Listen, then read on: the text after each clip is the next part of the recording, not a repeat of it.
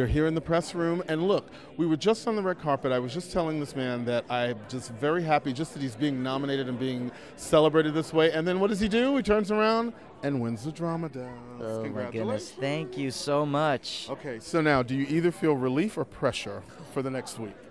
I feel I feel a little relief. I mean, I, the, the, of course, there's like some pressure. Next this next week is like a big week, and it's really intense. Are you drinking your water and uh, got the throat coat tea and the lemon? Yeah, you're You know, it, yeah, right? I'm I'm guzzling it all. Okay, Yeah, okay. trying to keep healthy. I gotta I gotta talk quietly. You know. Because again, that opening numbers, that's the selling one for I me. know. That's Oh. how you got me. That's that's where it starts. That's where it You got- starts. and uh, but yeah, but no, I I feel like it's like a all of these things felt like a major win to be nominated. Mm-hmm. Um, so it is sort of a relief to have won this, and it's like this amazing, like unbelievable honor, uh, and I, I'm just so thrilled. I don't, I don't Well, I mean, I have to tell you, there are lots of people that are outside the world of theater that are just theater fans that are all saying the same thing, at least that I know of, about your performance. And it's like, I'm just glad to finally see some people are paying attention and they're not letting the fact that it's SpongeBob scare them away from celebrating what you're performing. Oh well, I thank them you. because it is a surprising little show, and but as you know,